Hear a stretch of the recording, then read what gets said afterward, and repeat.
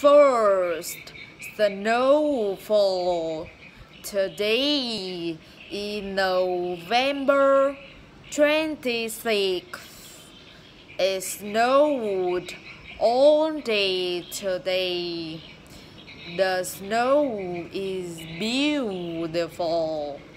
The snow finally stopped. My sister and I are excited. My mom doesn't, like doesn't like the snow.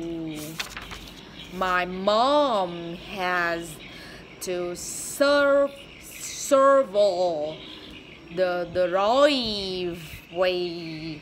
My sister and I get to play.